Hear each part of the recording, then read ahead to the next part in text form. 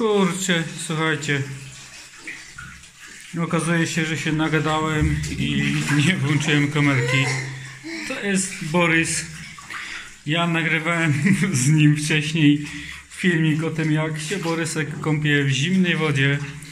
E, No i zacznę od początku. Jak organizuję kąpiel? Przypomnę, mm, jestem ojcem, e, jestem tatą dwójki dzieci, sześcioletniej córki i ponadrocznego e, syna. Mm, e, Oboje z tych dzieci kąpię w zimnej wodzie, a zaraz e, Wam wytłumaczę, jak ta kąpiel wygląda i na czym polega. E, Zaczynam od tego, że po rozebraniu wkładam dziecko do wanny, namaczam go ciepłą wodą, szybko namydlam, szybko, szybko spłukuję, następnie napuszczam im trochę wody, tak aby mogły się w ciepłej wodzie pobawić i rozgrzać.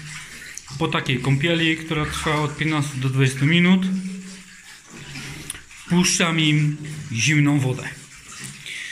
E, I w tej zimnej wodzie się bawią. E, Muszę przyznać, że e, bawią się najczęściej do tej pory, aż po prostu zacznie im ta zimna woda przeszkadzać, będą chciały wyjść, zaczną marudzić, jakby troszkę po- popłakiwać. Wtedy natychmiast dziecko wyciągam. Do niczego swoje dzieci nie zmuszam. Tak, to jest najważniejsze, aby to dziecko taką kąpiel w zimnej wodzie odbierało, odbierało jako zabawę. Często też bywa tak, że o wyjściu z wanny decyduję ja.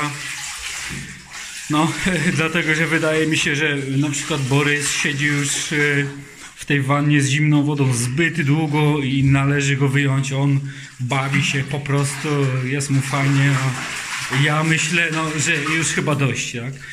Woda jest całkowicie zimna. Wcześniej leciała z prysznica, bo Rysek bawił się wodą z prysznica. Maksymalnie zimna woda, która teraz e, cieknie z kurka. E, Borysek czasami się pośliźnie, klapnie sobie na tyłek. Siedzi w tej wodzie już około 10 minut. E, Czasami zamoczy, zamoczy sobie tyłek, czasami buzię, próbując się napić rączki, stópki. Jak widać, dla Boryska jest to świetna zabawa. E, dzięki temu wielki benefit takich kąpieli to jest to, że moje dzieci poza Katarem praktycznie nie chorują. Lena ma 6 lat. E, nie pamiętam kiedy ostatnio była chora. E, Borysek ponad rok miewa czasem katar. I tak to wygląda. E, Wydaje mi się, że będę kończył już to wideo, dlatego że Borys, on już siedzi około 10 minut w wannie.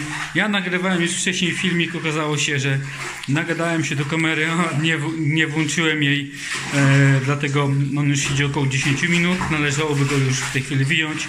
Ja jeszcze wspomnę o jednym, o czym nie wspomniałem.